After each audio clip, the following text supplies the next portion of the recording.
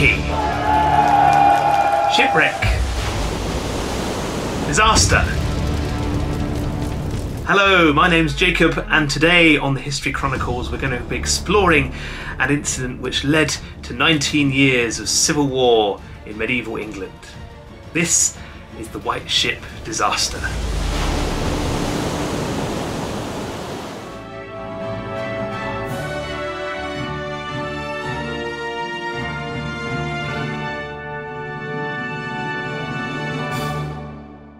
Our story starts right at the beginning of the 12th century, when a new, young, and ambitious king, Henry I, had taken over the throne of England. Henry had been crowned king on the 5th of August 1100 after an ambitious play for the throne. He secured the English treasury in a swift coronation only days after the sudden death of his brother, William Rufus. Rufus had been killed in a hunting accident in the New Forest, or perhaps even assassinated following a plot of his younger brother. Regardless of what happened here, this new energetic young king was to rule with considerable strength. Upon coming to power, Henry had immediately secured allegiance from many of his barons with a generous coronation charter. This guaranteed the freedoms of the church in England, something which William Rufus, Henry's older brother, had sought to exploit. Henry also moved quickly to secure his inheritance in Normandy, winning a decisive battle against the King of France and Henry's older brother, Robert Curthose, in a place called Tinchebray in 1106. In his administration, Henry had moved wisely to appoint allies who depended on him for power. According to the chronicler Orderic Vitalis, these were men who were raised, so to speak, from the dust, taken from humble positions, trained up, and then given prestigious offices of state in Henry I's new regime. One such example was the Bishop Roger of Salisbury, Roger gained control of England's chancellery under Henry, and, as such, was able to develop it into a significant administrative force in England. Before Henry's reign, the collection of taxes had been possible, but had been conducted mostly on an ad hoc, piecemeal basis. Under Roger's careful eye and Henry's peaceful governance, the Chancellery developed into an organisation that began to keep regular records of the income and expenditure of state. These records, which began to become known as pipe rolls, date from Henry's reign and started a legacy which lasted until 1833.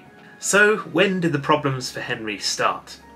For this, we have to draw our attention further forward in Henry's reign to the year 1120. In this year, Henry's son and only male heir, William, set sail on a voyage that was to have devastating consequences for the future of the English throne. Young William and his friends boarded a ship on the 25th of November that was to take them from Barfleur in France to the English coast. However, it was late in the year, the waters were choppy, and to make things worse, William and his men were evidently in a mood for celebration. One chronicler relates that they consumed wine in great abundance. Some even left the ship before it departed, seemingly prescient of its fate. With 300 people aboard, the ship foundered in the coastal waters of the English Channel. Its drunken passengers were ill equipped to save themselves from death by drowning. Of the 300, only one survived, a lowly butcher from Rouen. This butcher took the news of the king's death to the king himself and told him that William, the heir to the throne, was dead. Henry appeared bereft at the loss of his son and spent the next years of his reign in a struggle to secure a new heir to the throne. Following the death of his first wife in 1118, he married the young Adeliza of Louvain in 1121. Unfortunately, though, this marriage was to be unfruitful in producing a male heir. Henry did have one other option, however. He had a daughter, Matilda, who at the age of eight had been married off to the Holy Roman Emperor in Germany. This marriage was an effort to broker an alliance for Henry on the continent. Matilda's husband, the Emperor Henry V, was 12 years older than his bride, and despite involving Matilda in the governance of his empire, this marriage too bore no children. Henry the Emperor died in 1125, leaving Matilda as his childless widow. In the harsh world of the Middle Ages, this often meant for a widow that the future was to go to a nunnery, or to have no significance in the political world whatsoever. But Matilda's father, Henry I, evidently wanted none of this. He now called her back to England, where she was to play an integral role in the future of the English state. Now that his son was dead, Henry was to see Matilda as the new and rightful heir to the English throne. At Christmas time at his court in 1126, Henry I got his barons to swear an oath that Matilda would be the next rightful heir to the Kingdom of England. At first, the barons were reluctant to swear such an oath. After all, a female heir to the throne was unprecedented in English history at this time. After some dispute, though, they eventually agreed and recognised Matilda's legitimacy. However, things were to take an increasingly complex turn with Matilda's second marriage. This was to a young prince on the continent, a man called Geoffrey of Anjou. Matilda and Geoffrey appeared to be mismatched. Matilda was 26 years old by this point, and Geoffrey had only just turned 14. What's more, Matilda still clung on to her title of Empress, something that she was to do for the rest of her life. And perhaps this shows that she was quite keen on retaining the status and privileges of her former life as the consort to the Holy Roman Emperor in Germany. But this new marriage was to her father's liking. Henry I aimed to secure for himself an ally on the continent in the Angevin family. This was important because the King of France, Louis VI, had recently taken over Flanders and an area called the Vexin. These were on the borders of Normandy, and as such they put Henry's lands there at great risk. The royal wedding took place at Le Mans in 1128, with Matilda and Geoffrey tying the knot.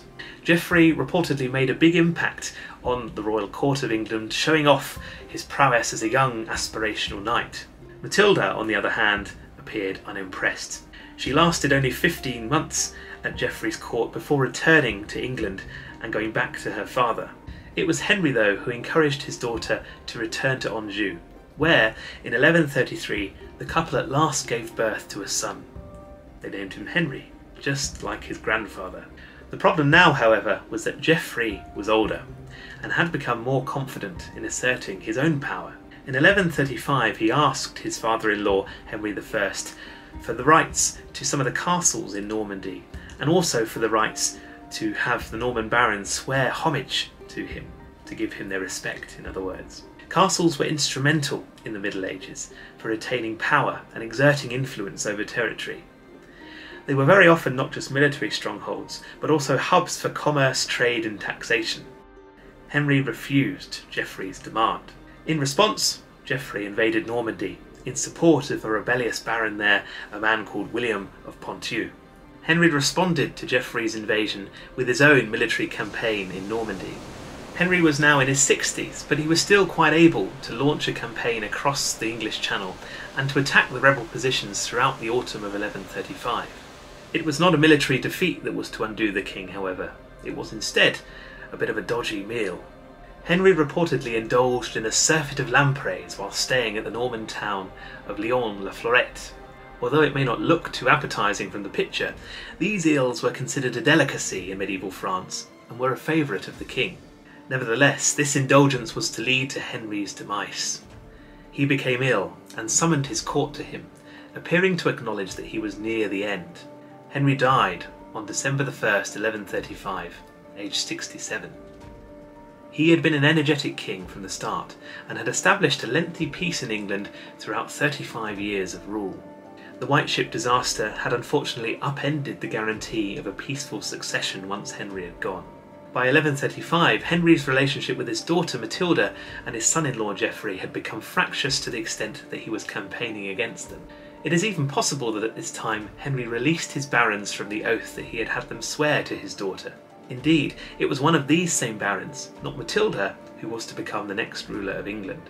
This man, Stephen of Blois, was to place himself on the throne of England at the popular consent of England's barons. On the 22nd of December 1135, Stephen was crowned in Westminster Abbey by the Archbishop of Canterbury. The succession crisis was far from over, however. Henry's legacy of stability was to be shattered by a succession crisis that was to ravage the kingdom for the next 19 years. Stephen and Henry's daughter Matilda now fought it out over the right to the English throne. According to one source, each man, seized by a strange passion for violence, was to rage cruelly against his neighbour. The White Ship disaster of 1120 had unleashed a can of worms that were to become manifest in 19 years of civil war in England. Guaranteed inheritance was a vital component of medieval kingship. having lost it in the tragedy of the White Ship, England was about to enter a period of anarchy. I very much hope that you've enjoyed this episode of the History Chronicles, my first episode, and I hope that you can also like, subscribe, and support the channel by clicking below. You can also join the Patreon page if you want to support the channel further, and I very much look forward to seeing you again on the next episode of the History Chronicles.